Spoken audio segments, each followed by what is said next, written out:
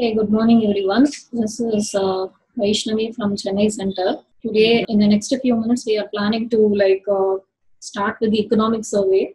The scheme is something like this. Uh, we have two volumes of the survey to be uh, covered. We are now going to uh, see the economic survey uh, into three classes. Uh, how we have planned is there are like around uh, 10 to 11 chapters in volume 1 and uh, similarly like around 10 chapters in volume 2 so uh, we will be doing like uh, more than two sessions to complete all the chapters of the two volumes. When you look at the volume 1 it is uh, mostly like analytical type and then mostly it will be useful for your mains preparation and for the mains answer writing the major concept which is uh, throughout the uh, discussed throughout the volume 1 is something upon the wealth creation which the government has taken as the major theme to discuss in volume 1 whereas volume 2 will be mostly like your um, the class pattern where we would have started studying gdp then growth and development then the public uh, finance then about the money inflation then about the banking then about the external sector so when you move on to the volume two, you will be seeing much familiarity with the things what you have already studied in your classroom environment. So our uh, notes has also been prepared in a similar pattern like how we want to like take up the data updation from the economic survey. So let us say two things. Volume one will be mostly for your mains perspective, whereas volume two will be mostly with the data and the, the latest presentations of the economy and that will be much more uh, important for your prelims aspect because you will have to remember many of the trends and the patterns.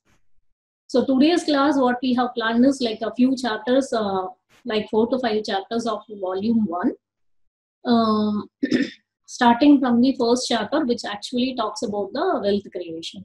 So what I'll do is I'll complete every uh, chapter and then we'll be like taking a few minutes to see if I could uh, clarify any of your doubts if it is there. Otherwise, we move on to the next next chapter. So uh, we are starting with the first uh, chapter in the economic survey volume one. I hope you all have been circulated with the book what we had done as a concise version of the original economic survey if you have downloaded the chapters from the uh, finance ministry website and if you have it in your uh, soft copy that is fine. Else i hope like you would have received uh, the soft copy of the economic survey from our side. So we are right now going to run through the chapters based upon the content what we have given through the survey from the academy. Now we'll start with the the first chapter uh, the concept is uh, starting with the wealth creation. Basically we all will be uh, wanting to know the basic terminologies in economics. Whereas we say like income wealth the earnings spendings consumption these are all the several words which we will be learning. Here this has been taken as the wealth creation actually whatever uh, we have studied as gdp or the income creation in the country itself has been like uh, mainly moved on to the concept of wealth.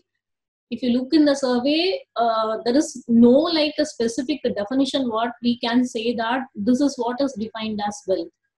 But generally if you want to tell in economics you can say accumulated income is wealth the presentation in the first chapter will be going in such a way that all the major financial indicators, the growth in them, uh, will all will be taken as a presentation for the wealth creation. Right. So we look at like what are all the things which they are talking as the uh, wealth creation, and then we are going to see that uh, the keywords which is given here as the chapter title, the invisible hand supported by the hand of trust. So, you know, like the invisible hand is uh, nothing but the market uh, economy. And uh, we are going to see like how the economy has been dominated by the market economy, or rather, if we want to say in a very simpler term, how the economy is getting dominated by the private sector and how the wealth creation is happening through that, how our policies have helped for the wealth creation, and how they have actually uh, not performed in certain periods or like how they have lost the trust in the economy and how are we now regaining the trust in the economy again upon the private sector it's like a storyline So basically, we start with a concept called as the wealth creation, how the wealth has been created in India. And we see like what is the role of the private sector or the market economy in this. And then we see like how the private sector is also not able to perform well because of certain reasons. And finally, we are trying to see like how the policies should be able to bring back the trust in them and how that performance should be improved so that we can go ahead in doing on this uh, wealth creation. So that's the storyline in which this uh, particular chapter has been uh, built upon. So now the storyline we are going to like uh, substantiate it with the the data and the evidences. The first colorful uh, diagram is basically to show you like you can see that uh, on the top this yellow colored thing uh, which is also like you can see in this area this is what we are attributing for India and it is a very very historical perspective dating back like around uh, several uh, decades and several centuries even. So when you look at that India had been very much dominating in the wealth creation across different countries in the world. So India had been very very rich uh, in terms of like the resources, in terms of the income generation, uh, in terms of the materials available in the country. So that's the first thing which they want to present. The second thing is like they want to say that India's GDP is slowly uh, improving, and you will be uh, learning from the news also. Uh, several uh, uh, several countries are still struggling uh, to come back out of the recession in across the world, but still we hear to the news that India is capable of doing like at least five percent, six percent. Like I'm talking about the period, maybe beginning of Jan Feb. That's when the economic survey was presented and I request kindly to the students to keep in the mind like uh, whatever presentation we are doing, please run your timeline till up to the uh, month of Jan and Feb because post-COVID situation, any of these things or during this COVID situation, the things which I'm going to explain may not be like very, very relating to it. And you know, like the survey was presented towards the end of Jan and all these pictures have been showing that India was actually reviving slowly and then it was doing well among the uh, world economies.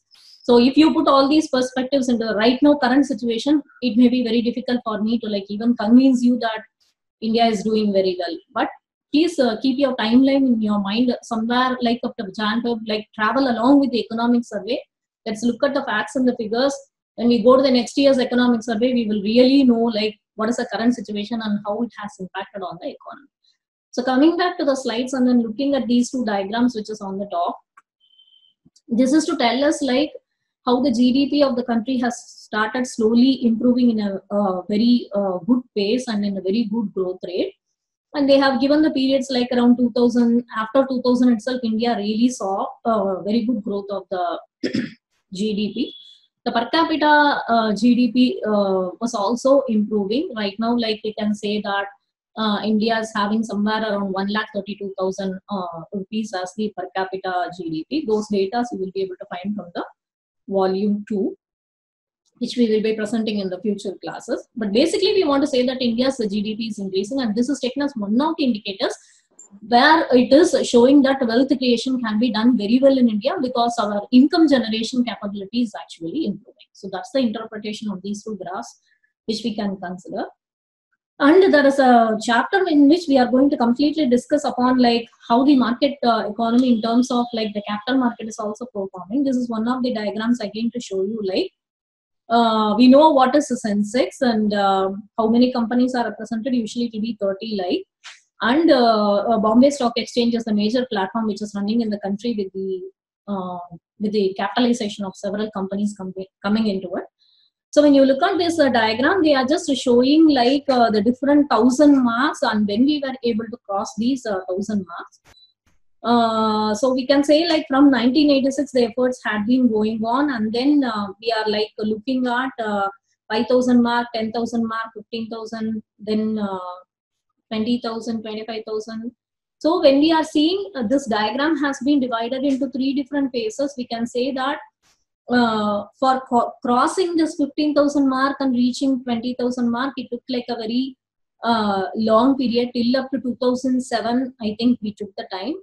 And uh, between 2007 and 2014, again the phase two, you can see that it was actually a slowdown phase. this was an uh, uh, like a very good growth phase. At that time only, slowly we reached this 20,000 mark, and in this uh, period of like seven years, there was a slowdown. From 2014, we started increasing in the uh, capitalization very quickly. You can see that there was a jump in the 5,000 5,000 mark. It took a very long time here to achieve those things, but uh, post 14, there had been a very quicker uh, uh, increment in the the marks which they were crossing, the Sensex uh, crossing the 5,000 uh, point milestone. So this is all to show that the capitalization or the investments are also happening in a very good way in the country, which they see as uh, one of the ways how the wealth creation can be uh, done. We are anyways going to elaborate more upon the Sensex and the performance of other things in the next chapters this is again an evidence to show that like how uh, wealth creation is uh, impacting the economy. You can see that as we are earning more then we can pay more salary to the employers. And wealth creation and benefits reaped by the suppliers. This is all like about the uh, the raw material suppliers. See whenever you look like a diagram like this all you have to understand is you look at the x-axis first you're going to see that when the wealth creation is increasing which is kept on the x-axis and uh, the employee's salary. So the red color line, wherever you're going to see, it's going to show you the best of it. What is the meaning of this best of it is, whenever you're seeing a dot on this line, it is like to that level of wealth, how much of uh, salary increase should have happened to the employees. And if you're going to see any of the dot above that line, it's going to be seen like you are actually to that level of wealth, the, the salaries which are being paid is actually more and sometimes uh, it is less.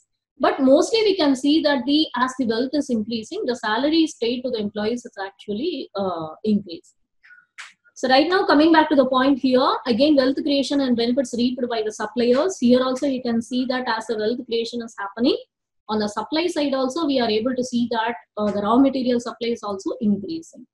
Right? So then uh, we move ahead and then we see how the wealth creation is benefiting you can see this is about the capital expenditure which means that people are coming forward to like uh, reinvest more and more like they are wanting to do newer investments. So capital expenditure is also increasing. And you can see that foreign exchange reserves are also increasing. We are going to give you enough evidence today through the survey that how the exports uh, and other things which we are doing as a trade with the other countries have actually resulted in uh, higher wealth creation in the country so this is again further evidence to talk about the wealth creation and the um, tax uh, collection in the country. You always know that there will be a tax buoyancy where we say like as the income of the GDP is increasing, the tax collected will increase. Similarly, we are seeing a positive fit here. You are seeing it's a increasing line.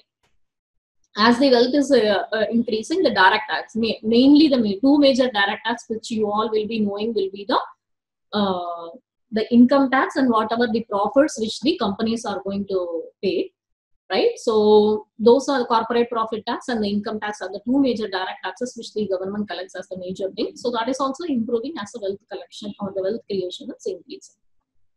Now they slowly shift on to the point where they want to say that the invisible hand or the market economy what is its role in uh, contributing to this wealth creation or how is it uh, helping us create more wealth uh, you can see like uh, post uh, the liberalization policies like uh, we are seeing a time frame of 1990 here and then after 1996 97 they have uh, created a, a, dent kind of a thing here in the diagram.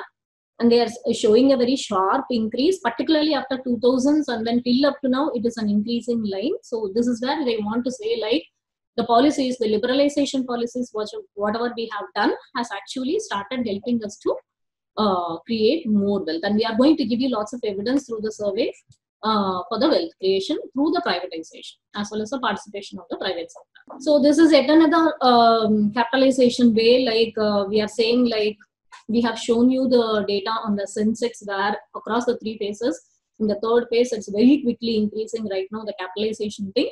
Similarly, we are also wanting to say like uh, mutual fund sector has also started doing very well, uh, particularly after 2000 uh, in 2003, you can see a very uh, increasing line uh, post this uh, liberalization period. So all of these policies are actually helping us to create more wealth in the country. So this is also they are showing like um, uh, you can see that there is a green colored bar here where it is written as major ports on public sector but minor ports on private sector. So that's the point what they want to make through this graph. So the private sector, though it is a minor port, the growth in the ports sector has been very, very faster, mainly because uh, of these things uh, they are trying to say that again the wealth creation in the country is uh, improving.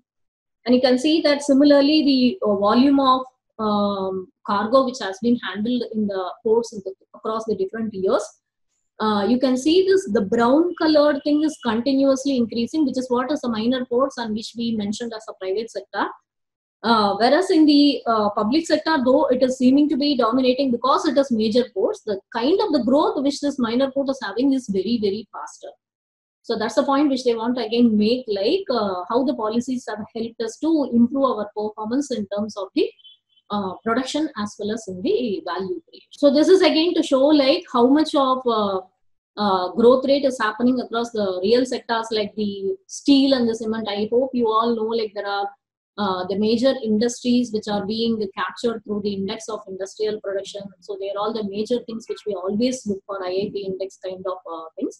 In that they are categorizing certain things as like open sectors where they want to call it as a market economy, whereas uh, the closed sector which they want to say which is still with the uh, the governments or, or uh, the public sector's control you can see the open sectors are all having very good uh, growth rates whereas the the closed sector is having a lesser growth rate then coming to the growth in freight traffic across open sectors and the closed sectors you can see that um, closed sector which is about the railways freight traffic is two, there are two things which you will have to see always when you are talking about the transportation one is how much passengers or how many passengers are traveling through the road, through the railways, what is the growth rate in it. Another one is the uh, freight thing. Here they are talking about mainly the goods thing, so the freight thing, in which we are seeing that in the road sector, which is like where you are seeing uh, uh, there is a lot of uh, private participation these days. You have heard about lots of PPP uh, models. So uh, the point is not here to say that roads are actually uh, belonging to the private sector. The point is only to tell here that private participation has actually increased more in this freight traffic as well as even in the creation of the infrastructure. Whereas in case of your railways, you know it is totally uh, still to the public, though some parts of it has been handed over to the private, but still it is uh, the major services of the railway sector is still uh, remaining with the uh, public sector. So here you can see that um, the closed sector's growth is very less, whereas the open sector's growth is actually uh, going on very fast. Anybody wanting to ask anything? Slides are not clear. Uh, see, um, I'll tell you why this.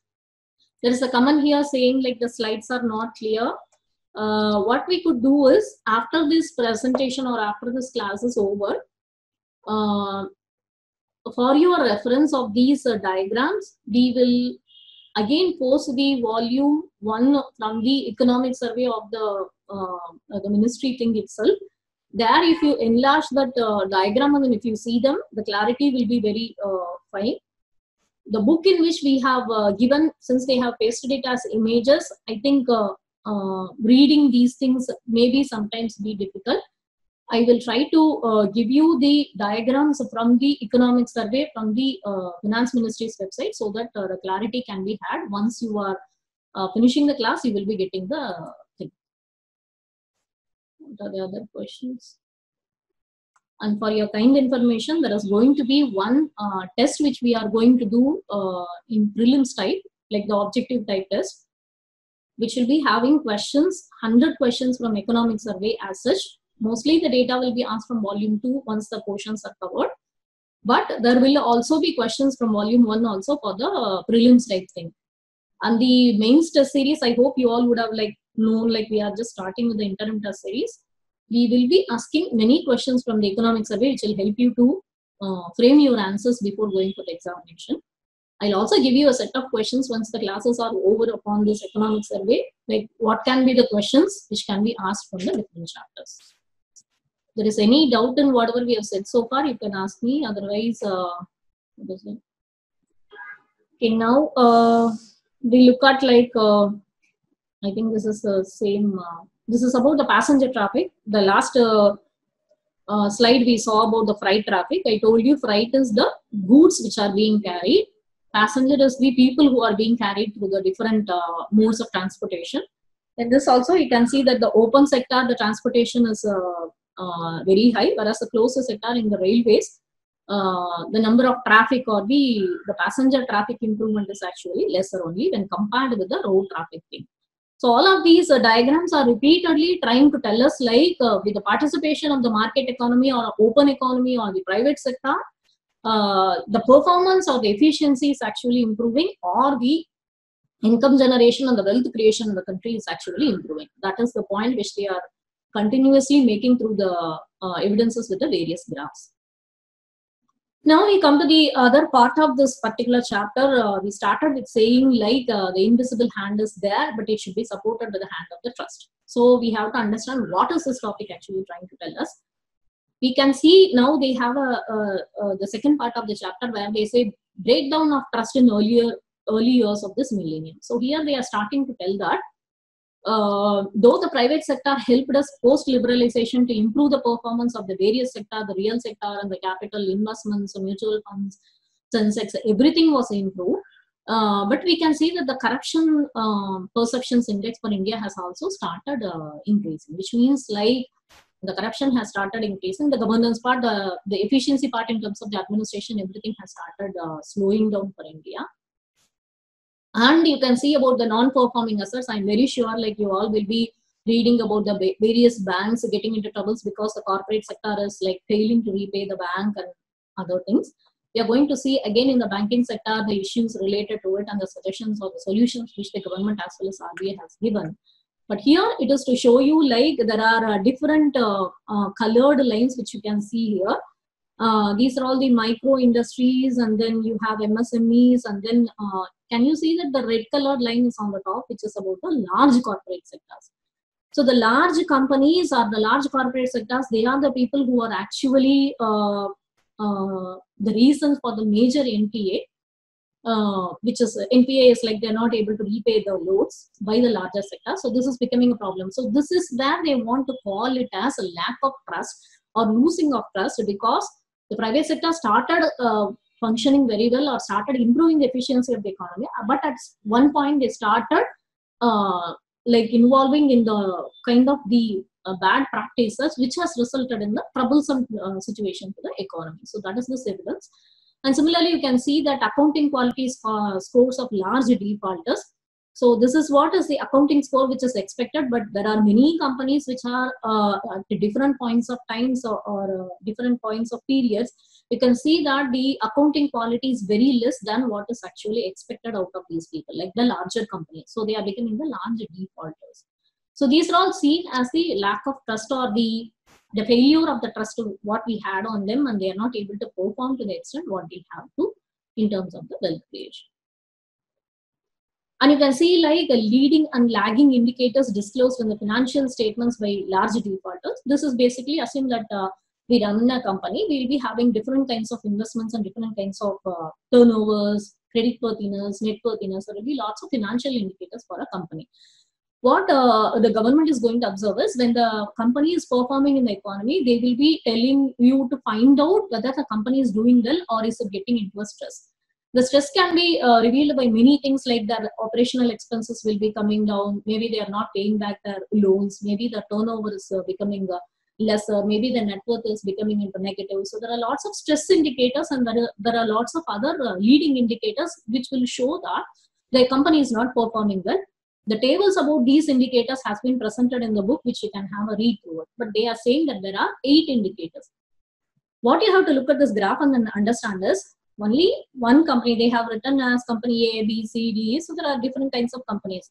You can see that most of the companies are having more than four to five stress indicators whereas only one company is presenting one indicator of the out of the eight indicators. So it seems like many of the companies are having we are talking mainly about the large defaulters. So they are having like more than four to five stress indicators with them so which means that the large companies are there, which who are actually supposed to add on with the large scale economies to the country, but they are resulting in large defaulting and they are actually starting to trouble the economy as such.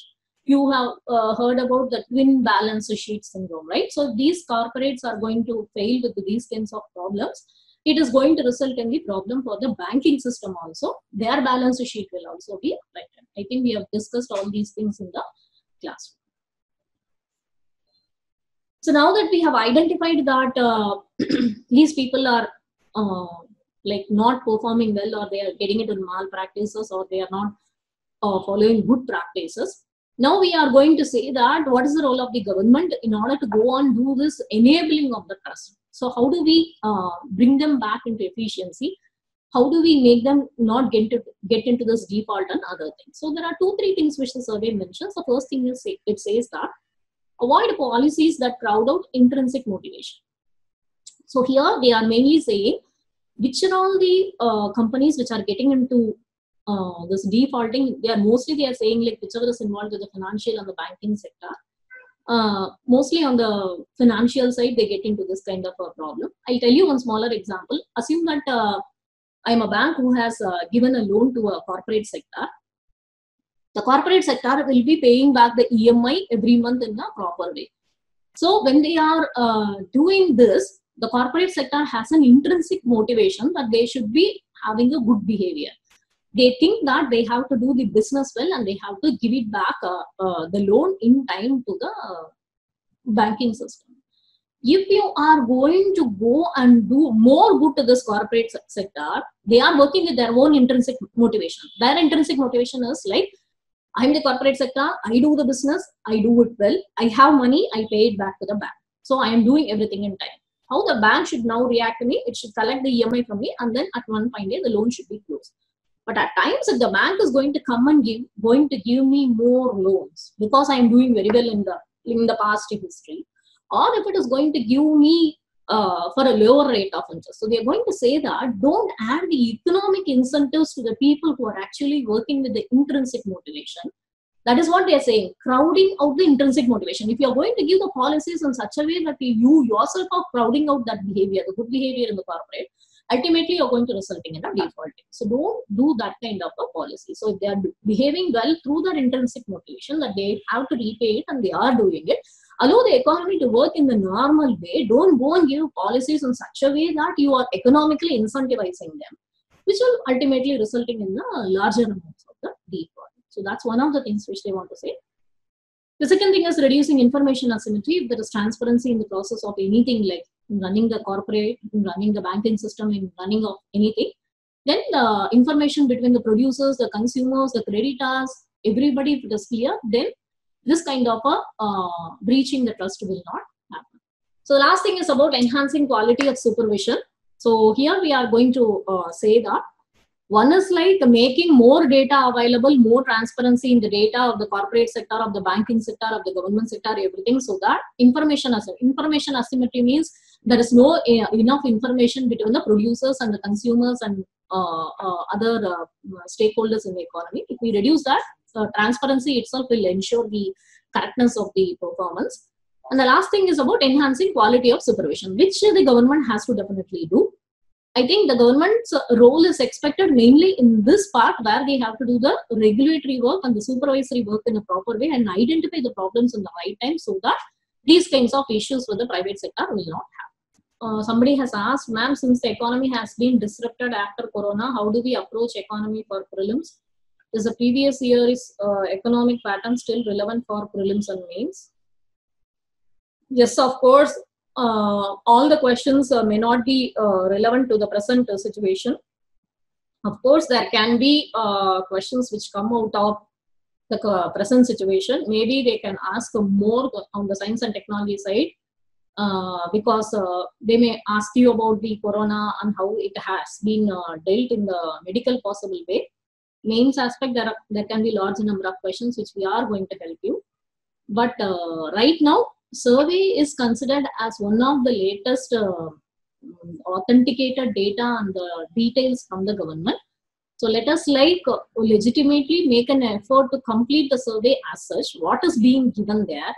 And slowly we will move on from there to the current affairs because I already told you survey has been presented by the end of Jan. So let us not cross the timeline and then try to understand uh, things uh, posing it into the current situation. I'm telling you again if you're going to combine these two things and study survey uh, my suggestion is just read survey as a book.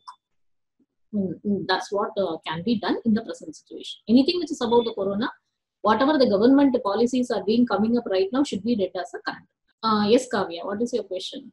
Um, can you please explain what is information asymmetry? Information asymmetry is uh, assume that I am a share broker and assume that you are an investor.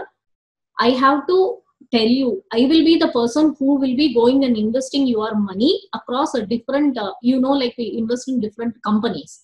I can't tell you that you invest only in one company. I can, I'll take like one lakh rupees from you and I'll be going and distributing this investment across uh, different companies, right?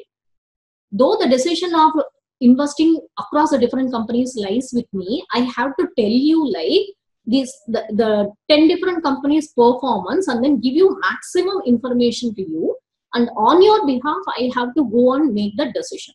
If i don't give you enough information i make the decision on my own. That's called as information asymmetry. The person who is investing the person who is doing uh, the helping facilitating the investment i'm just giving this only as a smaller example I'm telling you this information asymmetry can be between the private sector, the producers, and the consumers, and the government, and the regulatory mechanism. Everywhere there will be an information asymmetry.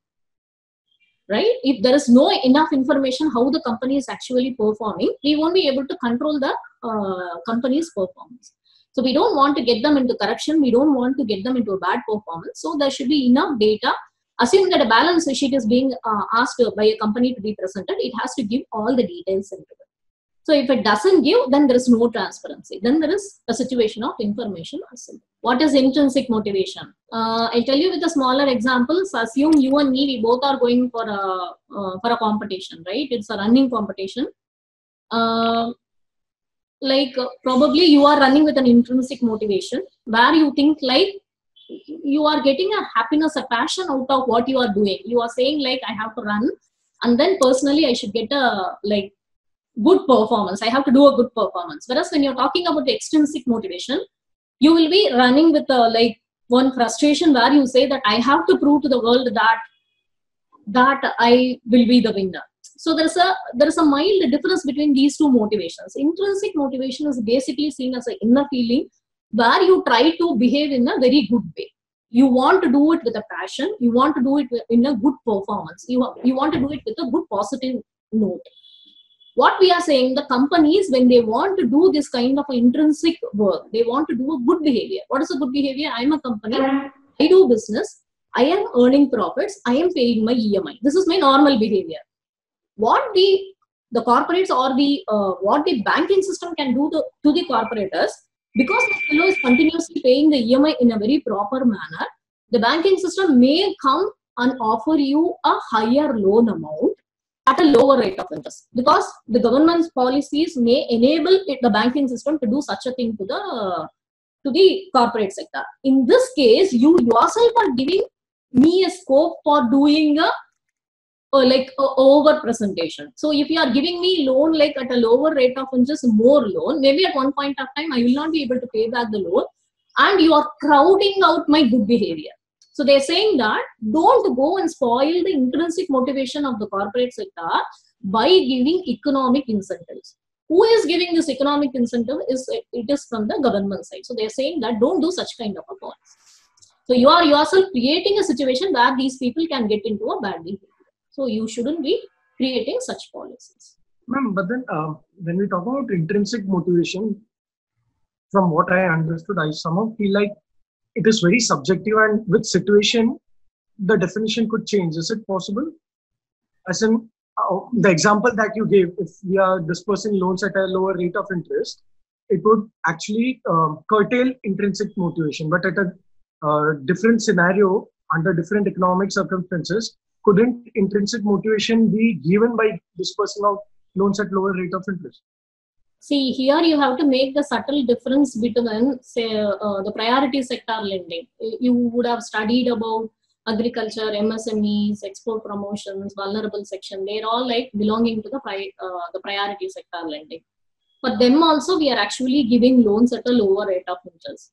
there are um, very many situations when these people they have not paid back the loans i think that is not the point uh, in this part of the survey what we are talking is about the large defaulters. Because we showed you the evidence in the previous two slides who are the people who are defaulting the most? So we don't want to encourage a culture among the larger corporate sectors saying that you are large and then you are doing very good.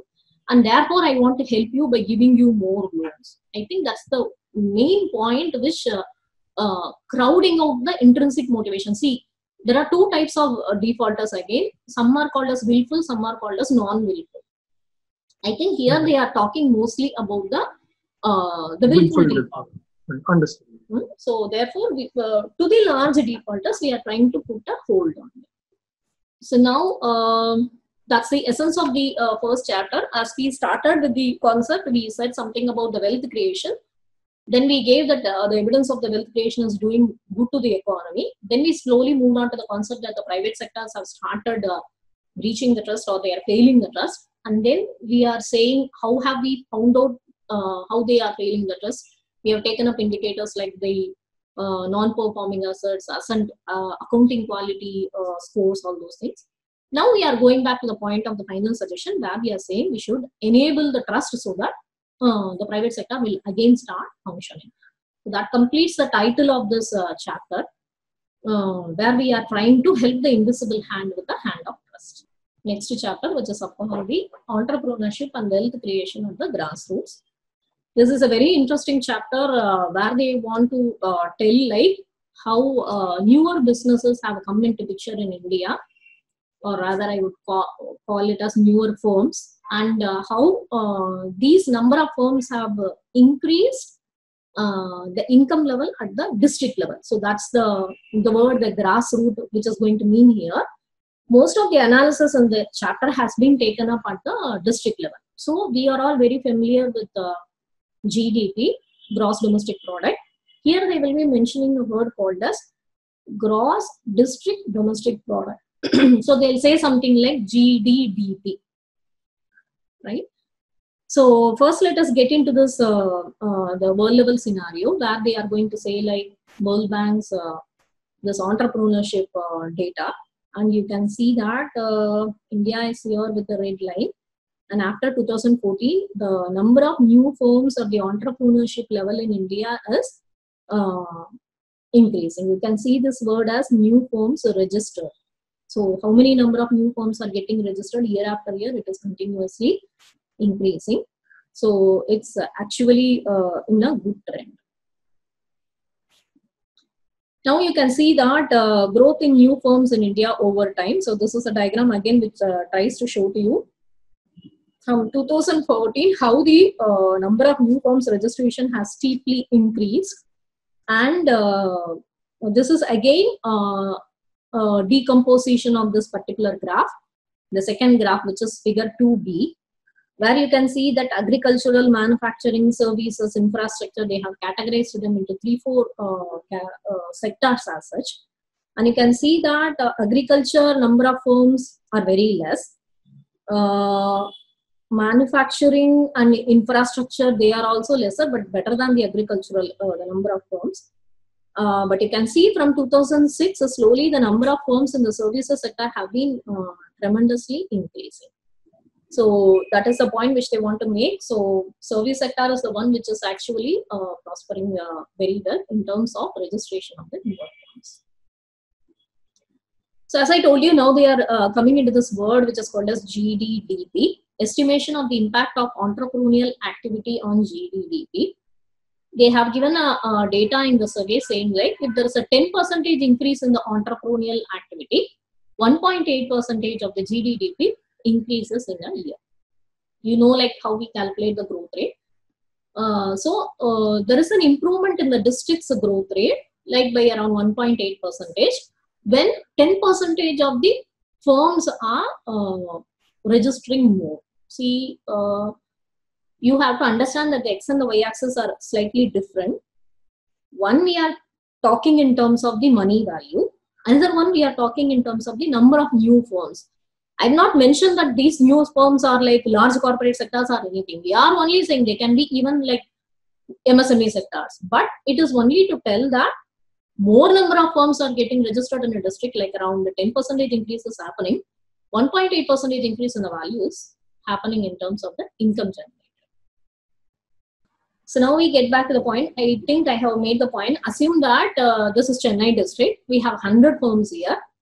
If more number of firms, 10% increase. So we are getting 110 firms. The 10 new firms, I'm not giving any description whether it's big, small, uh, all those things. 10% more increase. Whereas this will be resulting in 1.8% of the GDP. If we are having like 500 crores as a GDP, that is going to increase by 1.8%.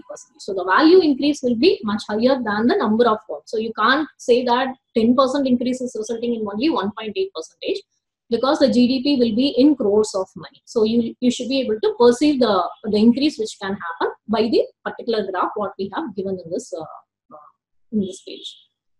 And then this is a India map where they are uh, trying to tell you a distribution of the new firms across uh, districts.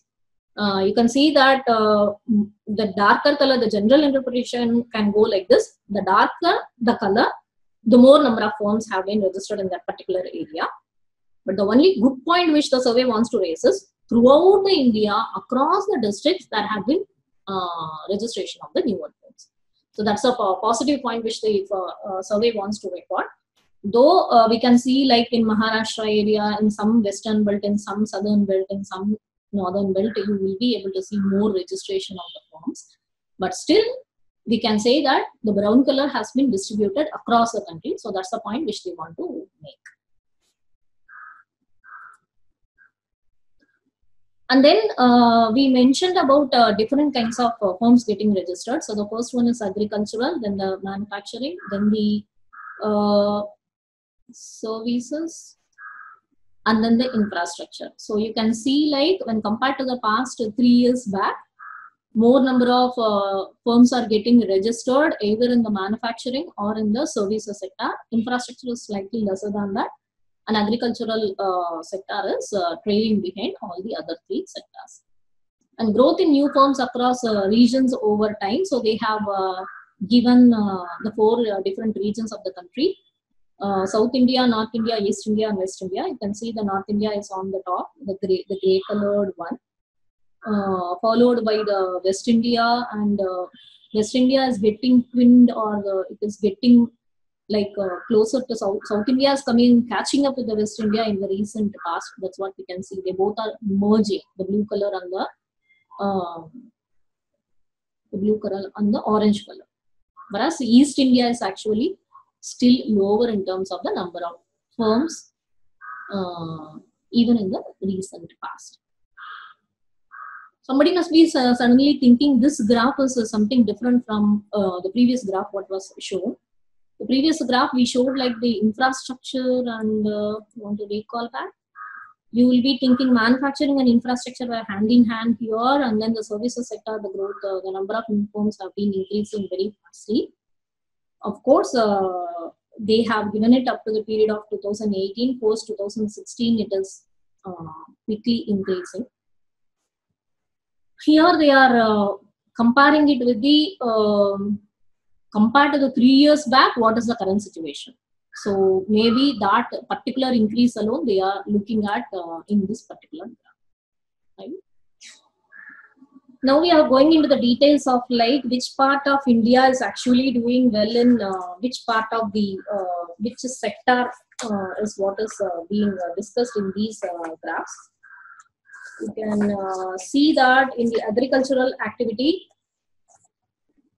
uh, some parts of the uh, central India and some parts of the northeast India, they are doing very good in this uh, new registrations of the firms in agriculture.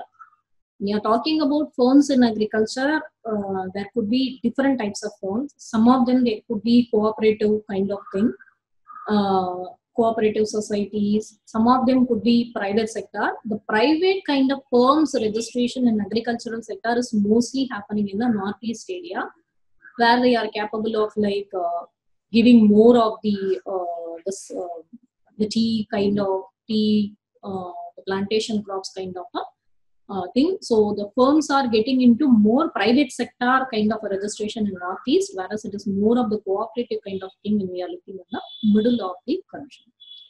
Looking at the manufacturing sector, you can see that the registrations are happening more in the western as well as in uh, uh, Maharashtra area and in some parts of uh, South India and in some parts of uh, Northeast also. So this is where the manufacturing sector is actually getting uh, dominated. Uh, we are talking about entrepreneurial capability of districts in different kinds of uh, sectors. And you can see in terms of the services sector, it is mostly the North India like uh, Uttar Pradesh, Delhi, uh, Haryana, uh, these kinds of areas, they are actually getting dominated. Kerala is also in a good uh, dark colored one. Tamil Nadu, parts of Tamil Nadu, it is in dark colored one. So the service sector is not uniformly across the uh, country, which is getting dominated, mostly in the north, and we have also mentioned about Kerala. Coming to where we are talking about the infrastructure, again, you can see only parts of the country uh, which are actually focusing upon the, the western belt, a bit on the eastern belt. They are now improving lots of infrastructure in these belts. So these are all the distribution of the entrepreneurial capability of the districts across uh, the different regions of the country. And uh, so now if you look at, uh, there is a red color line which is uh, coming down, which is the unemployment rate. You can see that as much as the entrepreneurial activity are improving, either it is in the manufacturing sector or it is the overall uh, entrepreneurial activity. And you say entrepreneurial, it could be agriculture, manufacturing, infrastructure, service sector, any of these things, it is showing a negative association with the unemployment rate, which means it results in the reduction of the unemployment rate. So all of these things you can take it as a uh, level of the district. So we were mentioning about the GDP. So similarly, you can say that these uh, unemployment rates are falling down even at the district level or at the grassroots level. Now, the second uh, uh, concept which the uh, chapter wants to talk to you is about the determinants of the entrepreneurial activity. First thing what we have said is the number of firms registration in the country has increased. So we are increasing the entrepreneurial activity. The second thing is we have said about how this entrepreneurial activity is distributed across different regions of the country. And now we are trying to say that how this entrepreneurial activity is increasing on what are the reasons behind this increase across the uh, districts. Why certain districts are doing very well in manufacturing, some in the services sector, all those things, differences are there. But overall, how the new firms registration is actually happening, that there should be certain basic reasons why it is happening. One of the things which they want to present is about the literacy on entrepreneurship. If you carefully look at this diagram, we can see that there is a dent at a particular percentage after which the entrepreneurial activity is increasing at a very higher rate. And uh, survey says that 72 percentage of the people, if they are becoming literate and the level of education is actually becoming higher, that's when we can see that this entrepreneurial activity of a particular district is uh, increasing very fastly. That's the interpretation of this diagram. Then we see number of colleges on the entrepreneurship. Here also we are going to see that there is a positive increase. If uh, more than 36 uh, number of institutions, uh, this is only uh, to represent that more. So how much more is like more than like 30, 35 institutions if there are there in the particular district. Then also they are going to tell that the entrepreneurial, uh, entrepreneurial activity or the ability of a particular district increases fastly, right? So we can see that these are the determinants and we are going to continue with the determinants of entrepreneurial activity. The other uh, two major things what they want to say is, one is about the market access and entrepreneurship. So if there is a good connectivity by the tar roads, you can see like around 75 percentage of the roads are tar roads. Uh, you can uh, see that the number of uh, firms which are getting registered or the entrepreneurship is actually uh, increasing. And uh, you should also see that uh, distance from large centers and entrepreneurship. So if you're closer to an urban center, closer means like within 42 kilometers, you have a good number of firms which are getting registered. But as the distance is going away and away, we are seeing that the line is actually becoming lesser. So the entrepreneurship, now you can summarize with the four things. One is like level of literacy, number of colleges. Of course, this is going to enable the literacy. And you can uh, talk about the market access and distance from large centers. So these are all seen as determinants of uh, determinants of entrepreneurial activity at the district.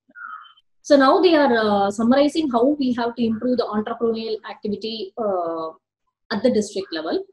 So as we have said, like literacy levels should improve. The schools and the colleges, if we are having more in number, it will result in more entrepreneurship. And uh, I would request you to go back and look into the survey. Uh, they have mentioned the word called as uh, already the engineering colleges have gone into privatization or rather like more number of private colleges are performing well in the uh, promotion of engineering and other kinds of the colleges uh, degrees. They are suggesting for privatization of uh, education. So i hope this point has been raised in the context of saying that more literacy levels or the more uh, levels of education should be improved. But this is a point which is given in the economic survey so you can make, you can make note of it. The government itself is actually mentioning about privatization should be promoted in the education sector if we have to improve the levels of educations and uh, the entrepreneurial ability. So that's there in the chapter. I'll mark it and send it to you. Other than that, better connectivity of the villages, as I told you, like tar roads have to improve, and access to the uh, good centers, the urban centers will also improve it. Apart from this, the regulatory things which the government has to do, if that ease of doing business, and then you are regulating the labor laws in a better way, those are all the things which will be definitely improving the uh, entrepreneurial ability in the manufacturing sector. So this is basically to tell you like India has a very good entrepreneurial ability which is coming up in the recent past, particularly after 2014 or so. And the distribution is across the country, across all the districts. And they are giving the ability in different different sectors across the different parts of the country. And they are giving certain reasons for the uh, entrepreneurial ability, like uh, how it can be improved and finally, they are making certain policy suggestions. If we work upon these determinants, definitely we will be able to improve the entrepreneurial ability across the country, across the sectors. So that's the essence of the second chapter. Okay, so now we are moving on to the third chapter. Here, uh, it's a very interesting chapter which is going to uh, tell you about like uh, pro-business and pro-crony policies. Pro-crony is a word which uh, has been uh, uh, a thing which comes in the news very repeatedly, and it's also a very uh, favorite word of UPSC. It uh, has asked uh, questions like, "What do you think about crony capitalism? How is it getting promoted in the country? Do you favor it?" All those things. So, in this chapter, how the chapter has been designed is first half of the chapter they want to tell us that um, how the pro-business policies in India have actually resulted in increased uh, uh, wealth creation. So they just want to uh, still maintain that the major theme to be reflected repeatedly. So the pro-business policies, how it has positively benefited the country is the discussion for the half of the chapter. After which the discussion comes on the pro-crony policies, which were followed in between. And as a result of which, what were the negative impact which happened and after the pro crony, again we have uh, now come back to the pro business policy. So that's what the survey wants to establish. Some of the pro crony policies, how it has negatively impacted the uh, economy. They are giving some examples, and then they are finally coming to the point that pro business policies only should be followed, pro crony policies should not be followed. So that's the essence of this particular chapter. So here is where they are actually uh, picking up the Sensex uh, as a base point and then the construction of the uh, index and uh, several other uh, facts and details about it as a evidence to tell that how India has um, like followed a lot of pro business policy. We'll give you the evidence, you will start understanding it. I think this graph we saw it as part of our um, first chapter. So here you can see that in the initial phase, the Sensex uh, increase uh, that the 5000 mark increasing was a bit slower now we have said in the recent past the uh, 5000 point milestone has been crossed uh, very quickly. So that's the essence of this particular graph. We'll take it forward and see like how this uh, Sensex uh, construction is changing over a period of time. This is a graph where you can see that there is a blue colored line and then there is a red colored line, right? Uh, you can see that uh, from the point 1986 and then you can see from the point 1997. Uh, the point here is uh, Sensex is having 30 major companies in, in it as a representation. we want to understand the 30 major companies, how long are they remaining within that 30? So the 30 is not fixed. Depending upon the performance of the companies, there will be a circulation among the different companies. See, Bombay Stock Exchange is there. There are like hundreds and thousands of companies registered. Let us take an example as that there are uh, 500 companies which are registered with the Bombay Stock Exchange. Which are top performing, those 30 will be uh, taken into the representation of the Sensex. So from the period of 1986, which is this blue line, no, the constituents, Sensex constituents, which means that who are the companies which, which were there in that 30 and becoming form of the uh, part of the Sensex, they remained the same, whatever may be the number of years. So here they, if, if you see this T, you should put it as 1986 and then for the next uh, eight to nine years, the constituent, constituents remain the same. But the red colored line is going to tell you that put this as 1996 from then onwards like for the next 10 years the constituents they kept on changing. It, it did not remain the same. See if i was a company who was there in six and once in three years once in four years once in five years i was like moved out of the sensex repeatedly. So they have said that churning and they have made use of a word constructive destruction. That's the word which they want to make use here. Constructive destruction. What is constructive here? The, the the chance for many other companies who can come into the sensex kept on increasing. So there is no guarantee like this blue colored line where the constituent constituents remain the same. Constituted started churning. And that word they are mentioning here as what is constructive destruction. Or they want to call it as creative destruction. Right? Uh, now the question now comes into our mind uh, which are these companies which are coming into this uh, uh, replacing the older ones right? So here are the lots of uh, evidences which you can see. In 1991 you saw that the manufacturing sector firms the blue line uh, is the manufacturing and services sector were very less. But you can see in the latest uh, period you can see that the service sector firms are more into the sensex than the manufacturing sector Similarly, in terms of capitalization, capitalization is like how much money have you generated uh, by selling the shares in the Sensex or in the BSE. That you can see the manufacturing sector was dominating in 1991, but now you can see 50, 55 percentage of the amount which is being capitalized uh, through the uh, the market or the uh, the capital market is mostly for the from the services sector, right? So here uh, we are trying to prove a point that more number of companies are getting into the place uh, within this as constituent within the sensex. And the kind of companies which are coming into the sensex has started moving towards more towards the service sector and they are also generating large amount of capital through the capital and then you are seeing two more graphs in this uh, page where you can see the highest to the lowest firm market capitalization ratio in sensex. Say for example i gave you an example 500 companies are there in the bombay stock exchange there could be larger companies, there could be short, uh, smaller companies. The ratio of the largest to the smallest, it was even as high as 1 is to 100, right? But now the ratio has reduced to 1 is to 12. You can see this here. The ratio has actually reduced, right?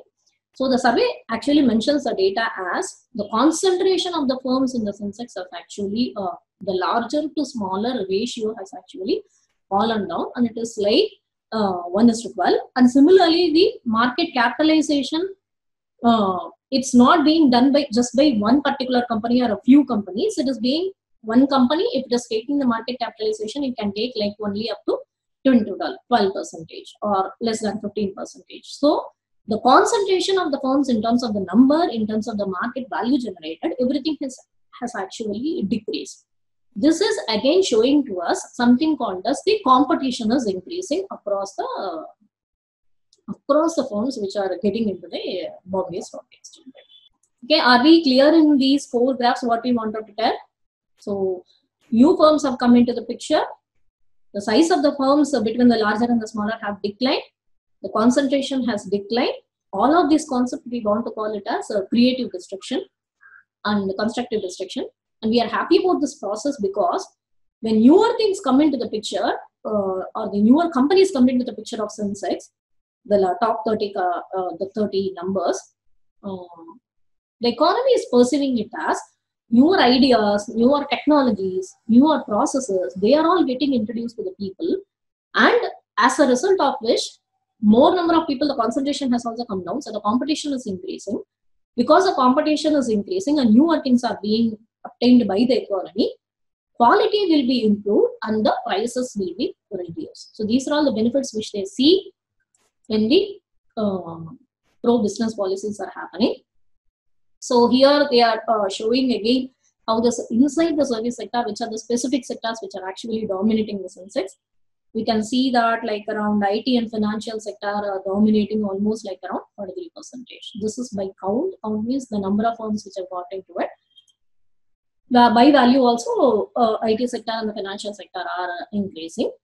And uh, new sectors which emerged in the sensex following liberalization, apart from the IT you can see that the financial sector, the blue colored line is the largest now, followed by the red colored one, which is the information technology. You also have energy sector forms into it, and uh, you have consumer uh, uh, staples, and uh, there are a lot of other colors. So there are lots other than the manufacturing sector, there are lots of other sectors which have come into uh, the picture, uh, including the healthcare and the real estate, which are coming now into the Sensex. So there is a churning of the companies inside the Sensex. So this is what uh, uh, it is being given as like three key insights by the economic survey. It says like dominant firms are dominant only for one fifth of the time that uh, they are pre-liberalization partners with, which means that they can be dominant only for three four years. Once in three four years, they will be shut out, and another newer firm will get into the Sensex. So they were not permanently dominant like it was in the kind of pre-liberalization period and we are getting new sectors, new technologies, new ideas and products. This is called as uh, the process of creative destruction. And the difference between the largest and the smaller firms are uh, shrinking. This we said that the competition is actually increasing. So here is where the diagrammatic presentation is given by the survey where they are trying to say pro-business policies are good for the country because these are all the newer things, benefits which the country has uh, achieved. For which it says like the competition has increased, uh, business uh, resource allocation has increased and citizens welfare is maximized. Whatever we said in the pro business, you can put it exactly opposite to that, which will become the pro crony, which means that you are not actually promoting competition. You are trying to give some preferential treatment to some of the companies which you know, and the resource allocation will definitely get into a trouble if you are only favoring some of the companies. And if you are favoring somebody, uh, then it is not going to result definitely in the improving the welfare of the people it is definitely only going to reduce the welfare of the people. Now, we are going to show you some examples how these pro-crony policies are actually affecting the efficiency of an economy. So far, what we have done is how the pro-business policies, which have promoted so many companies to come up very well in, across the different sectors and the representation through the sensex we have discussed. Now, let us go and look at how the pro-crony policies, which we want to call it with the word wealth destruction, the earlier word for the pro business policies, we made use of the word um, creative destruction um, or constructive destruction. Whereas in pro crony policies, we are calling it as wealth destruction. We are actually eroding the wealth. So now what we are going to say is you can uh, have certain evidences uh, pro crony. Uh, in the previous slide, we said like some of the firms which may receive preferential treatment, right? This preferential treatment given firms are named with a uh, name, particular name, which is called as connected firms. Assume, uh, say for example, this is only for an example which we are mentioning that there is a party which is facing an election, it wins the election, and then it is giving uh, the laying of the road to a particular connected firm. How will be the efficiency of that particular firm doing? So it is given by a preferential treatment, and these kinds of firms between 2007 and 2010, they have mentioned that uh, in the Sensex or in the equity index, they have done very uh, abnormal profits with an increase in 7 percentage. But uh, the survey claims like from 2010-11, where we started doing only pro-business policies and we did not want to do the pro-crony policies, they started actually underperforming by 7.5 percentage. So when we are not giving them preferential treatment, they are not actually efficient enough to compete with others and do a good job. They are actually inefficient. So we are not supposed to promote a particular connected firm only because we are connected to them. We shouldn't be assuming that they are efficient. So this is one of the ways how we can show that the wealth is actually getting distracted because of the connected firms And this is yet another example which the survey gives you. Uh, you can see first the title. Uh, this is like for the coal block allocations. Actually, in the first uh, uh, chapter itself, we were seeing like there were lots of open sectors and there were closed sectors. Open sectors, we had the example of cement and steel and other things. Closed sector, we saw the example of coal. So here, let us assume that if the coal block allocation by the government is being done through the discretionary allocation, which is the pro-crony policy, or if it is being done through the competitive auction, which is the current policy. So in this period, how this discretionary election, uh, allocation was resulting in the eroding of the wealth. So that is what we are going to see. You can see here, um, purchase of the capital goods and the equipment. After the uh, after the related party transactions were given with the coal block allocation, uh, you can see that the capital goods equipment purchase has drastically increased by the related party transaction because this is the uh, discretionary allocation. Similarly, you can see that the operational expenses paid by the, uh, the, the related party transaction after its allocation with the discretionary allocation that has also increased. And similarly, operational income that has also become different. Whereas when you see the companies which are being competitively allocated with the coal, coal uh, this allocation, you can see that post the allocation also, these companies are not going and purchasing capital goods just because they have been allocated to the coal block allocation. So there is not much of a difference between the pre and the post period. And similarly, the operational expenses of these parties have also not drastically increased when compared to the pre period. Here you can see the bars are very different, whereas the heights of the bars pre and the post, it is not very different. And similarly, the operational income which is being earned by this uh, these parties when they are allocated through the competitive auctions, it is not very different between the pre and the post. So the point made in this particular graph is these people are doing mainly because they are being allocated with a coal block allocation, they are being given with a higher amount of resources, and it is done by a preferential treatment. Whereas the competitive auctions, they are really spending only to the extent what is actually required. So this is also one of the evidences which the survey wants to give to show that how the pro-crony policies are actually not doing good to the economy. So this is a pro-crony, this is a pro-business. Yeah. So you spoke about companies not dominating for a longer period and your companies getting chances and constructive churning. But then, don't you think wouldn't uh, wouldn't this lead to a lower faith in the economy? Because no entrepreneur gets into the market thinking, okay, it's just three years and then I might fizz out. Wouldn't this actually uh, clearly crowd out the intrinsic motivation of an entrepreneur? See, this is only increasing competition. We are not asking the company to go out of the market. We are only saying somebody is becoming better than you. See, Sensex is actually a representation of the top 30 companies. If somebody else is doing better than you, you can't stop them from doing better than you. If you want to be in part of the Sensex, you have to improve your performance continuously it is not uh, underperforming. It's actually a relative situation compared to the other company which is doing very good. Where am I? Uh, yeah, yeah, ask me. Yeah. Um, so this crony um, capitalism, obviously, it clearly has all negative um, effects. Is there any positive to it? As of now, uh, as part of the market economy, we don't want to attribute anything positive to it. Except if there is a monopoly situation that only one particular company has efficiency to do it and you choose that particular company to do it. That's not the feature because india is a mixed economy. We have large number of private as well as the public players here. So this is not uh, definitely going to help us like so these uh, diagrams are now uh, trying to show you like how these people who were given with pro crony policies how they have even become into willful defaulters and how many number of crores of money has been like owed by these uh, people who actually were given with the favorite policy.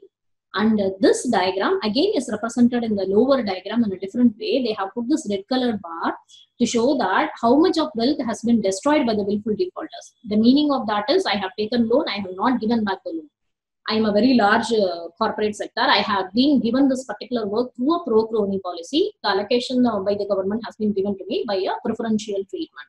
And I have lost the money because I did not do well. When I have lost the money in such a way, they have put this in middle of the budget allocation to the different sectors just to show to us how much money has been destroyed by them. And you can see here um, health, education, and social protection, which is the next bar. So 136 and 138. So the amount which has been destroyed by the willful defaulters is almost equivalent to the amount which the budget is allocating for the health and uh, education and the social protection. So you may be listening from the news that India is not allocating more than like one percentage or three percentage for uh, education and the health sector when we are bothered about allocation is very less, somebody else is destroying the amount which is equivalent to that tune of the GDP. So that's the point which they want to make through the graph here. So these are all the negative impacts what we see as a result of the pro-crony policies. Again, this is uh, to show you like uh, comparing between the willful defaulters and the non-defaulters, how these people have uh, behaved if they are being given with the pro-crony policies. Uh, basically, they are willful defaulters. The meaning of that is they had been assigned with the work, they were given with lots of resources, they were not able to uh, perform, and therefore they are now not doing well. They have become defaulters. The outstanding loans is very high among the, uh, the diagram is not very clear, right? All the red colored ones, they are all like uh, the willful defaulters, or all the uh, green colored ones are for the non uh, defaulters. You can uh, see like how transparent they are. Disclosures percentage of uh, the promoter holdings. Again what these willful defaulters they do is assume that i am a company and uh, i'm going to start a newer project. Assume that uh, i had been assigned with some particular work from the government by the preferential treatment and i am going to start a new project based upon that. And if i'm a new pro- if i'm starting a new project I may be raising some funds from the people also or from other sources also by selling shares for that particular project. These people, they have a behavior. They sell more than 50 percentage of the shares to the people and or to the other uh, uh, investors and then they take the money. So one, they are getting a preferential treatment from the government also, they are getting the funds. Other is they are taking the money from the investors also in both the ways when they are failing and they are becoming the willful defaulters it is like siphoning of the money from different sides and they may be giving loans to their own known parties so it is like siphoning money from different things and then they are promoting their own personal interest. So these are all the things other dynamics which are going into the people who have been given with the preferential treatment through the pro crony policies. So promoter holding they are doing it a lot and outstanding loans given to the related parties, right? So that is also higher than these uh, non-defaulters. Uh, disclosures, uh, right? this is like non-defaulters. The panel B, they are trying to compare it with the distress defaulters. Distress defaulters is like they actually got into a real problem and they were not able to pay back. Uh, compared to them also, you can see that this uh, promoter holding, which means like you are going and giving the money to somebody else whom you know, but you will be selling the shares to the people, you will be taking money from the government and you siphon off the money and give to your own like promoters. So that is again high even with them. And net outstanding loans, you can see here it will be very high uh, when you are looking at the to the related parties. So there are lots of malpractices which are being followed by the uh, companies which are being given with uh, any kind of a project through the preferential treatment.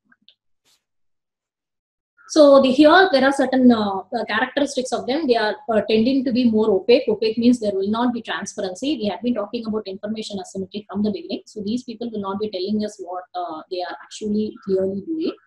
And then, as I told you, pledging 50% of the shareholding to the lenders uh, even the distressed defaulters do only 30 percentage and the non-defaulters. If i run a project not more than 10 percentage i should be selling as a share value and then taking it from the public. But these people they'll go even up to 50 percentage of the shareholding to the lenders. And then they will be making larger loans to the related parties. They will be siphoning off the money from the public and from the banks. So these are all the some of the characteristics of the willful defaulters. So they are all uh, the the result of the pro-crony policies uh, which happen. So now what actually we should do is we should be promoting the pro-business policies as uh, indicated by the Sensex where there were good churning of companies, competitiveness improving, good pricing uh, the, the consumers were able to get, good quality they were able to get. So that is what is actually required. There, there should not be any discretionary allocation, uh, which is actually called as the pro-crony policies, which will hurt the market which will be promoting only the narrow business interests, mainly maybe because of their own interests, the political parties may be giving it to the business uh, people, and it is going to result only in reducing the welfare of the people. So these are the negatives of the pro-crony policies. Public sector monopoly, government's monopoly need not be seen as a crony capitalism because it's not, uh, government cannot be giving a preferential treatment to uh, itself see it's basically we see public sector we can call it as inefficiency of the public sector but if you're not doing as a public sector work if you're not doing a job by the government itself and when you are giving it to the private when you are giving it to the private there should be a competitive environment in which the work should be given. It should not be saying like i pick one private sector and i give this job to them. So that is what we want to call it as a crony uh, somebody is asking what is the 25th percentile and 75th percentile in the graph. Uh, it's like if you have any 100 number, we can divide it into, even if you're talking about the population, first to 25th, uh, 25 people, what do they want to say? 75% of the people, what do they want to say? So that's how uh, the presentation is actually being given. So that's uh, one of the questions.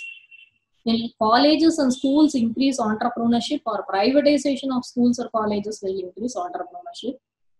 Uh, this is a very, uh, very difficult question in the sense like colleges and the schools, we expect that the public education should actually improve. Uh, say, for example, uh, if you take the medical field, there are colleges which are from the government side, there are colleges which are from the private side also. Both of them are going to uh, give out the doctors, but the cost of producing the doctors are very different between the government and the privatization. So, if the economy's overall affordability level is improving, people can join the privatization uh, or the private colleges and then start uh, doing uh, like uh, the education what they want to do, and then they can get into a better entrepreneurship. But as for this uh, privatization word is coming into education, the cost of education is definitely going to increase. This is one of the reason why I was worried when it was mentioned in the economic survey that privatization is actually suggested for the education field, right? And as such, education and health sectors are the areas where we expect the government to do more, particularly in the present COVID situation, we would have understood like how health is actually a very big public good, right? We'll come back to. Right, so now let us move on to the uh, chapter 4 where we are going to talk about uh, the government's intervention and how it is actually hurting the economy rather than helping it. Right, so this is a good title where they have given and they have analyzed some of the uh, policies of the government, like three, four examples where they have given, and they are trying to tell like uh, in case if the economy is maturing and if it is transforming itself, where it can take more private sector players in the areas where the government used to do, the government should think about it and then it should also be opening it up because in the name of government intervention, it should not be resulting in hurting of the market. So that is what is uh, uh, expected uh, as the outcome of, from this particular chapter. So let us uh, related party agreements are same as crony capitalism. So they are trying to give these kinds of names like connected firms, related party agreements, all to represent the crony capitalism. Crony capitalism basically is promoting only a fewer uh, uh, business sector in the country by doing a preferential treatment. The meaning of pro-crony and crony capitalism is almost uh, like doing a policy and what is the result of it. Pro-crony policy results in crony capitalism. So that's how the point should be seen. Somebody has asked me the point as crony capitalism versus pro-crony. So pro-crony policies will result in crony capitalism. That's how it can be seen. Now we get back to the chapter 4. So I have told you the uh, context in which the chapter has been uh, taken up. So now I'll go and see the evidences which the chapter wants to give about the uh, uh, the the base uh, how the market economy is there, how much of government intervention is there in it. Because of the government's intervention, how the economic freedom is affected, and we slowly move into the case studies where the government intervention has actually resulted in hurting the economy. So there are four case studies which we are going to see. So first, this uh, particular diagram is only uh, to show us that mm, you can see that India is in uh, gray color thing. So relative economic freedom, they are saying like uh, it's actually unfree.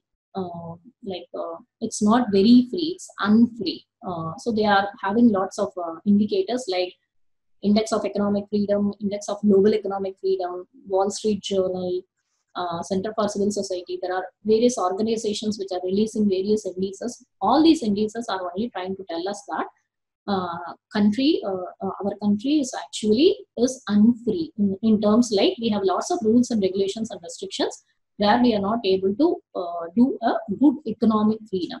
What do you mean by economic freedom? Is basically you should have your own choice of selecting the goods and services in the country in purchasing them. So you should be having enough of freedom or the ability to buy the goods and the services. Are we really having that much of an economic freedom? We are comparatively unfree. So that's the description here. Looking at this uh, diagram, uh, index of economic freedom with the density of new business registration, if more entrepreneurial activity is happening, of course, the economic freedom will improve. So that is what is this diagram's uh, implication. And this diagram is trying to tell you that if ease of doing business, the correlation between the different kinds of the scores with the uh, uh, economic freedom. So you can see that the tallest bar is the ease of doing business. So if you're going to give them a better business environment, if you're going to allow them to do the business with ease, then the economic freedom is going to increase. If the economic freedom increases, then the choice of selecting the goods and services to the consumers will also increase. So, what we have to do based upon this slide is we should be promoting more business registrations and we should also give them the ease of doing business situation so that economic freedom can be improved and the uh, choice can be improved to the consumer. So the demand can be met in a better way in a particular country. So that is what is the uh, baseline of this. And uh, all of uh, these diagrams are showing you that how many patents have been applied and how many patents have been uh, granted. Uh, you can see that if more patents are applied and more patents are granted, then you will be having more economic freedom. I already defined economic freedom as you should be having more choice or more freedom, ability to select the goods and services. Patents means you know like uh, newer things are coming into the picture, newer innovation is coming into the picture. So that is what also one of the things which is represented through this di- diagram, where you can see that the economic freedom is going to increase when the global innovation index is increasing. So that's the best, best fit here. So as the level of innovation is increasing, the economic freedom is also increasing. So similarly, we are saying here, as the number of patents applied and granted are increasing, we can see that more economic freedom can be achieved. So you have to give a better business environment. More businesses have to come into picture. More innovation has to come into picture. When all of these things have happened, then you can expect that the economy will be having more economic freedom. So this is for the uh, private sector as such to say that how the economic freedom can be improved. Now we are going to the second part of this chapter or the, the crux of the chapter where we are going to present some of the case studies in which presence of the public sector itself is affecting this economic freedom. First few uh, slides, we said about the patents, the innovation, the business the environment, the business registrations, all those things. Those are, those are all pertaining to the market economy, how economic freedom can be improved. Now we are going to say that this is a public sector, but this public sector, how is it actually affecting the economic freedom? So we are going to pick up four examples and then we are going to talk. Right. So we will uh, first start with the Essential Commodities Act. Lots of changes are coming to the Act very frequently, but as of now, the original Act, what it, the crux of the Act is to tell you that uh, pertaining to these major commodities which are included in the Act, like some of the agricultural commodities, pulses and other things, diesel, kerosene, other things, you should not be stocking more than a particular limit. right? So overstocking is not permitted. Uh, it will be taken like holding, so you're not supposed to do that. They are all essential commodities. You can have a stock only up to a particular limit. So how this particular policy is affecting the economy? So they are uh, giving the various ways how this is actually affecting. Um, it is uh, reducing the producer's uh, profit in the sense like if I am a person who is wanting to stock onion, I'm not allowed to stock more than a particular thing, then I won't be investing anything upon my processing or a storage facility. That is also seen as disincentivizing or reducing the investment in the storage. If I store it and then give it in an appropriate uh, time, then maybe my profits will increase, but that's not being allowed. And inhibits uh, the vibrant commodity derivative markets. If you store only, you will be able to give it in the future. So that's also not actually happening details development of agricultural value chain. So storage, processing, if these things are all improved, particularly storage is improved, it will be definitely making the raw materials available to the next next stage. But because this essential commodities act do not allow us to stock up more than a particular amount, what happens is if I have more than the stock what the government says, now I have to offer it into the market. As a result of which the prices will fall down now the prices will fall down. This is what exactly happened with the onions, which is also written in economic survey. Say, for example, in the month of September of 2019, they said like you should not hold or stock more than this amount. So then all these people, they were supposed to like give off the onion in the month of October itself. By the time the November came, the production actually, the inflow of the onion reduced. So again, the prices started increasing. So the price volatility could not be addressed even after the Essential Commodities Act coming into the picture and having a say upon the stock what is to be held by the producers as well as the, the retailers who are in the picture. So that is what uh, has been given as the diagram here. So potato and onion, they, can, they are like being seen as like how the uh, production stock and the stock limit is being imposed and uh, how the prices are actually fluctuating. You are not able to control the price fluctuation by limiting the stocks. So the original purpose with which uh, the Essential Commodities Act has been brought into picture itself at times fails because you are not able to stabilize the prices. Rather, the prices become volatile because of this very behavior and disintensifying the st the storage facilities is yet another major thing which uh, this ECA is actually resulting in. Right, so these are all uh, uh, potato and onion limitations. So that's the major uh, uh, worry about the Essential Commodities Act, where we want to say that how this is resulting in uh, having multiple impacts like this. Right. The second case study is about drug price controls under Essential Commodities Act. we'll come back to the slide in a minute. Uh, what they have done is they have taken a case study of two uh, major drugs in this. One drug, um, when you are talking about drug price control, uh, they are now going to talk about the essential medicines, like the essential commodities. They're going to say there are certain basic essential medicines. You can see the national list of essential medicines. And these medicines have to be priced only under according to the drug price control order. So now we are going to see a situation. Before this uh, listing of essential medicines was brought in under this DPCO, how were the prices of it and how the prices got uh, changed post this uh, DPCO. So that's a thing which we are going to see. Uh, they have taken two medicines. One is glycomet, which came under price control, which means it was brought under DPCO, and Glymiprex MF, which was not under the price control. So when it was uh, in a pre this drug price control order situation, the Glymiprex, which was like uh, was having a higher price when compared to the glycomet, but after this glycomet was brought under the drug prices control order, that price actually increased when compared to the glycomet. So this is uh, what we say that the market intervention by the government has actually hurt the economy instead of helping it. So by now we want to understand how come uh, we are trying say, to say that this particular glycomet's price should be according to the government's intervention. It is going to tell you a way how it has to be priced but how come this is becoming higher than uh, the earlier situation when it was not brought under control? So the survey says an evidence that per mg up to 99 rupees uh, there has been an increase in the pricing of the drugs which have been brought under the DPCO, the essential medicines list. and compared uh, to the medicines which are not under the DPCO. Say, for example, this glimepiride uh, it was increasing only by 25 rupees per mg, whereas for the glycomet, which came under the DPCO, it was an increase up to 99 rupees. So now comes the question, why this difference? Why earlier it was less, why now it is actually increasing?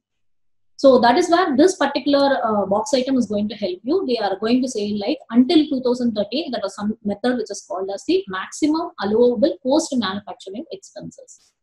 This is something like assume that I am producing a particular medicine. I produce, I have a producer cost. After I produce, I have to take it to the market. So there will be lots of cost involved in packing it, labeling it, and then marketing it through the pharmaceutical industry and then reaching it to the consumer.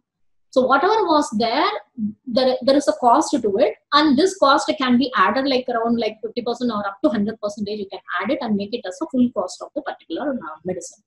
But this method was replaced by another method which is post this implementation of drug price control order, where they said like assume in this room there are like 50 producers of the same medicine, or like the medicine which is coming under the essential medicine, so the glycomet what they are saying is if these companies are all holding more than 1% share in the total market what are the prices which they have kept? The market price. Say for example the production cost and every cost is like around 50 rupees. But if i set the price as 55 rupees i call it as the markup. I am going to mark up my own profits. So i'm going to consider all of these companies which are inside this room which is having more than 1% share in the total market and how much markup all these people are keeping. An average of that that is what is the price which i'm going to set for the essential medicines because they are all the major players in the particular field. And i want to take into consideration the average price of these people who have set up for this particular medicine. So like this when the methodology was uh, changed from before to the after actually it has resulted in increase in the price of the uh, medicines which are there in the essential medicines list rather than going down right? So this is one of the issues which they are raising. Uh, as the government's intervention which has resulted in troubling the economy as such and you can see that uh, effect of dpco on prices and quantity consumed of regulated drugs regulated is which got into DP, dpco so you can see that um, formalities that came under the uh, thing, uh, DPCO uh, pricing. before and after, you can see that the pricing has actually increased very much. Whereas those which did not come under this thing, the price increase was only lesser. And this is about the quantity thing. This is about the price thing. This is about the quantity the quantity increase is only uh, like comparable. Uh, a little bit of increase only has happened for the uh, medicines which are brought under the DPCO, whereas which were not brought under DPCO also, it was only comparable increase here. Because it was brought under DPCO, there was not a huge increase. And here you can see that the prices um, in terms of hospitals versus retail outlets, here is there is a small benefit which has happened in the hospitals, the price has actually increased very drastically for the uh, essential medicines which are uh, which are being sold from the hospitals. But when you are comparing it with the retail outlets, the price of the essential medicine has increased only to a lesser extent, whereas the price of the medicines which are not under the essential list, it has increased a lot. So the only benefit what the DPCO has seen uh, literally from this graph is that in, in the retail outlet situation, essential medicines price increase was there, but it was lesser when compared with the medicines which are not under the DPCO. So that's the only major uh, benefit or a small part of it, which the economic survey claims that by DPCO, this only has been achieved positively, but in the rest of all other occasions, particularly in the hospital situation, the price of the essential medicine, medicines have increased very high when compared with the medicines which are not brought under the DPCO. So this is a, uh, yet another situation where the government actually has uh, by intervention hurt the economy instead of helping the economy. So now the third thing is a much uh, uh, known, uh, very uh, close to our heart thing where we know like the intervention in the grains market where government is going to go and procure the grains from the farmers and it will keep it in the food corporation of India. There will be one uh, stocking up of all the food grains and then it will be given through the public distribution system. I think in many other occasions also you would have studied about this as a major agricultural issue because we are procuring at a price and then we are almost offering at a very lower price and this is resulting in a very huge food subsidy. But instead of giving this kind of a food subsidy where you are piling up huge amount of stock and then transportation cost and then giving it through the public distribution system but not giving a quality good with all these problems uh, because of government's intervention in the grains market the alternative suggestion which uh, the survey is saying like instead of intervening in this particular way why don't you just go and give the cash transfers to the people so that they will be able to buy a better quality things in the sense like not from the public distribution system it should be given with the cash transfers. This will also reduce the bill on the food subsidy for, uh, for the government part so those are the suggestions which are given. We are going to see one by one. So here uh, the government produced 40 to 50 percentage of the market surplus. And you can see from punjab and haryana situation how much they are going on like increasing in uh, giving the rice and the wheat year after year. And uh, this is the buffer stocks uh, with the food corporation of india. You can see that there is a norm.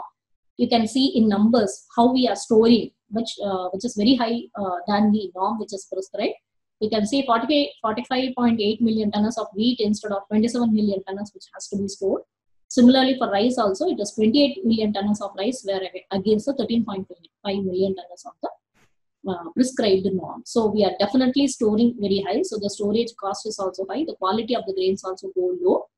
After this, they have to transfer it to the states for the distribution through the public distribution system. Finally, when it goes through the PDS, it goes at very, very lower cost or at no cost. Right. So now they are coming back to the overall picture in the country and they are saying actually the consumption of the cereals, the, rice and the wheat is actually declining but the production is going on increasing. So please note this particular point which we are giving at the end of the slide. Farmers are producing for policies and not demand. So the rice and the wheat is not exactly what people demand these days. But because the government is going on offering higher price, the production is going on increasing. So farmers are not actually bothered about what is the demand, but they are only working for the policies which are being offered by the government. So that's the essence of this uh, slide where we want to say that uh, the supply and the demand are actually mismatching. So this is why uh, the alternative suggestions are given for it, saying like um, give the investment subsidies to the farmers. Don't go and procure and then give them the price. Rather, you can give them money to buy more uh, investment facilities for their crops, and it should become crop neutral. Don't promote only rice and wheat or the cereals. And similarly, the National Food Security Act would be restricted to bottom 20 percentage. Uh, this uh, procurement of such a high amount of the surplus is also mainly because we are trying to distribute a lot through the PDS to varieties of the population or a larger section of the population in the country. So if we can cover only restricting to bottom 20 percentage, then this procurement requirement will also come down and the efficiency will also improve. We have given a table in the uh, economic survey book, what we have given to you, in which there are lots of country examples where uh, people have restricted themselves in giving this kind of grain uh, subsidy facility to the bottom uh, section of the society and which has actually resulted in improvement of the efficiency in the performance of the subsidy as well as reallocation of the resources to other sectors. So that is the suggestion here. And consumers to be given with the DBT cash transfer. So instead of me going and getting the rice, I can be given with the cash transfer so that I'll be having more economic freedom to buy uh, the different kinds of products which I would like to buy. Right? And then uh, better policies for agricultural marketing, trade, and distribution. All of these things mainly to promote crop diversification. As I told uh, earlier, uh, farmers are actually producing for the policies, not for the demand. So if you want to promote crop diversification, definitely you will have to attend to the other policies of agriculture also. Instead of doing the market intervention only in terms of the procurement and the price policies, the policies could be concentrating on agricultural marketing, trade, and distribution in a different way so that crop diversification uh, can also happen. Right? So that's the third case study. And the fourth one is about the debt waiver.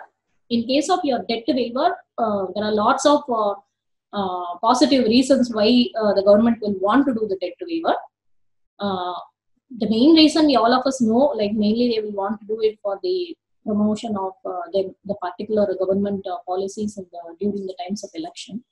But basically, uh, the economic points of it is to look at as uh, the debt to servicing cost will come down. Assume that I'm a farmer, I have taken a loan and then I have been paying the uh, EMI, and if this uh, debt waiver comes, I don't have to pay the EMI. So servicing is coming down, and my uh, loan will be completed. So my balance sheet is clear. My loan borrowing capability in the future actually improves and my current income will also improve, because this money which i was repaying it as interest to the bank i will be allocating it to something else and then i'll be able to earn more so these are the benefits which are actually seen when i talk about the concept of debt waiver so this is one section of the society or one view of the society when we talk about the debt waiver now economic survey is trying to pick up the debt waiver which was done in the year 2008 and they have seen how this has impacted upon the farmers who are holding 2 hectares and above for whom only partial waivers were given and 2 hectares and below to whom full waivers were given. So this is the comparison. Uh, full waivers, partial waivers. Full waivers are the debt waiver beneficiaries partial waivers, though they were like only uh, about 2 hectares. Say, for example, I am holding 2.02 hectare and not so different from the person who got full waiver, but still I won't be getting the full waiver, I'll be getting only the partial waiver. So there are policy uh, deficiencies, but still now we are going to see between these two categories whether the debt waiver really benefited the farmers who got full waiver or not. So here is where the evidence which they want to say you can see from this uh, diagram there are different panels. The uh, post program, post program is after doing the debt waiver, what happened, right? The right hand side of the panel, you can see that they are the partial waivers, uh, the people who are having more than two hectares. The left hand side of the panel, you can see them as the full waiver farmers, right? So now you can see that when you compare, the debt has come down for the uh, full waiver uh, farmers the second panel shows like formal credit. The debt has been waived, but for this reason, have they gone ahead with more formal credits? That did not happen. You can see that the formal credit taken by the fully debt waived farmers is lesser. Consumption is also lesser, right? And then consumption of the durable commodities is also lesser. Informal credit, yes, they are still going behind the informal credit and then if you look at the savings, savings is also lesser. Investment is also lesser. Productivity is also lesser. So this is what is defined by the survey saying like full waiver beneficiaries consume less, save less, invest less, and they are less productive even after the waiver when compared to the partial beneficiaries. So as such, the debt waiving is not helping in any way, right? It is not even promoting the formal credit in the future. It is only seen as a temporary relief to the farmers. It's not giving a um, permanent solution for what actually the farmers are to be given right? So the negative impacts are further like this. Uh, if we do the debt waivers very frequently, it may result in these people taking the loans and assuming that it will be waived off in the future. So it is destroying the credit culture. Investments and productivity show uh, minor variations. Like there is no improvement as such in them. So the cost offered is too high. We are actually giving them a huge debt waiving, but the investments and productivity are not improving as we are expecting in, to happen in the future. Sometimes it is seen purely as an election promise. So these are the negative things.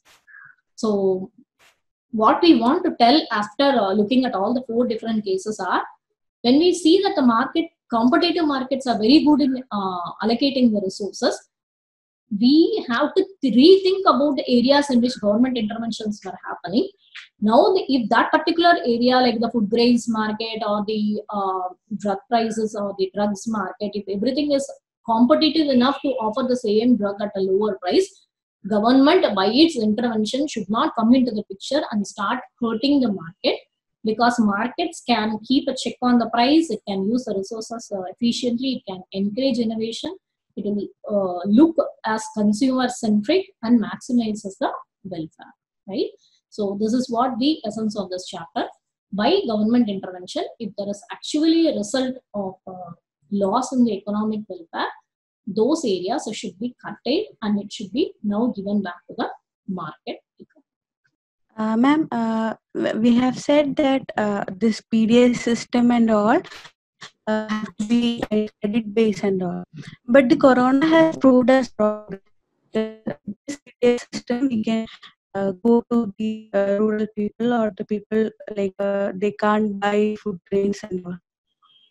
So, the uh, situation is totally different. I uh, I completely agree with you. Public distribution system was one of the major things which helped the people at the time of COVID because uh, not many shops were like allowed to kept open. We are talking so much about the formal economy. We are asking uh, everybody to come into formalized economy or the organized sector. Actually, lots of grocery shops which were not even registered, they were the people who really served the people at the time of the COVID right? So whatever we have learned so far, there had been lots of contradictions right now. What is happening in the economy? So uh, again, I'm telling you, the survey is in a particular context. Just read it as the book. You can always give your own interpretations according to the recent thing. We have developed a set of questions for the COVID situation, economic questions. I will share all those questions once the discussion on the survey is completed. Then we can pick up these things government is now saying don't intervene into this unless and until the government intervened through the public distribution system many of the poorer families wouldn't even have got food grains at this moment because the total market economy is closed right so we don't have uh, answers from the survey to the current situation so i request all the students to please understand this i'm not talking anything about the current situation in combination with the economic survey what we are right now undergoing is only what survey says needs particular context pre-COVID, right? okay, okay. Thank you, ma'am. Ma'am, when we sp- when we spoke about production, agricultural production being on the basis of policies and not on the basis of um, demand, but don't you think the government policies actually resonate the demand? Could you actually give an example here? See, uh, government is trying to procure and stock a lot of food grains, which is which is more than the norms which are prescribed. That is what we saw in that particular data. If uh, 13 million tons of rice is required to be procured, government has a stock of 25 million, million tons. So basically, if it is a market economy, I will not be producing more than what is actually demanded, which means like my prices will get into trouble. But government does this mainly to supply it keep it in stock and supply it through the public distribution system. It has its own it has its own justifications to do it but this is not helping because the moment you say like you are offering a higher price and then taking it from the farmers the food subsidy increases. And whatever the price what the government sets more than this price only the price is going to happen in the uh, retail market for the food grains. And so you're slowly causing a situation which is called as food inflation right? Food inflation can be fluctuating when you're talking about the vegetables and the fruits and other things but food inflation will not come mainly because of your rice or wheat but slowly the food inflation is happening over a period of time in a subtle way mainly because of the price policies what the government is following so these are all the other impacts which are happening through the uh, procurement of the thing. And if you think that the government is procuring only for the demand, then it should also do an equivalent procurement of the pulses and other things because rice and uh, wheat alone will not be sufficient for the population. The population had been demanding pulses for so many number of years. Until now 70 percentage of the pulses we are only importing from other countries. And what the government has really done about this importing of the pulses we don't have an answer. So the government So, is actually not doing according to the demand of the population. It is doing according to its convenience. So, ma'am, can we actually say that uh, the current economic survey actually talks negatively about the PDS system? It is suggesting alternative ways. It's not saying like you just uh, remove the system because it still says like put the uh, public distribution system exactly to the bottom 20 percentage of the population. And if you go and see the percentage of the people who are poorer in the country if you look at the poverty ratio it will also coincide with this 20 percentage. But by telling about the various various methods like uh, various various identification of the population we are actually saying 60% of the population can be uh, covered through the public distribution system. So this is unwarranted. This is not required actually. So that resources can be reallocated to something else and uh, we can do a better job. So that's the point which is being. So it talks about basically marginally reducing the holding of PDS Targeting the beneficiary. Just give to the 20%, bottom 20% of the population. We will uh, continue with the next, next few chapters probably in the next class. What I will do is uh, I'll be posting this uh, slides, whatever we have done so far. I think we have gone up to fifth chapter. But uh, today we have done uh, four chapters. In the next class, I'll be continuing with the, uh, the rest of the chapters and completing them. If you have any uh, doubts, you can mail to me. There are some questions. Are we unfree due to the stress of developed nations? We are not uh, unfree due to the stress of developed nations. We are unfree because of our own rules and regulations in the country. Uh, I'm going to present a chapter on the ease of doing business, how it has improved, and we are also going to show how we are still uh, having lots of constraints in terms of the approvals what we have to get uh, in order to do the business, transportation, communication, anything. So that chapter will help you understand how we are being stressed and then we are becoming unfree, right?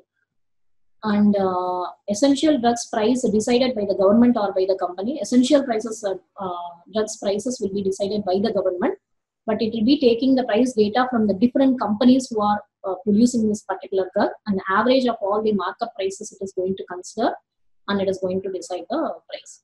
So it's decided by the government by taking the data from the companies. So that's how uh, the essential prices, uh, drugs prices are uh, decided.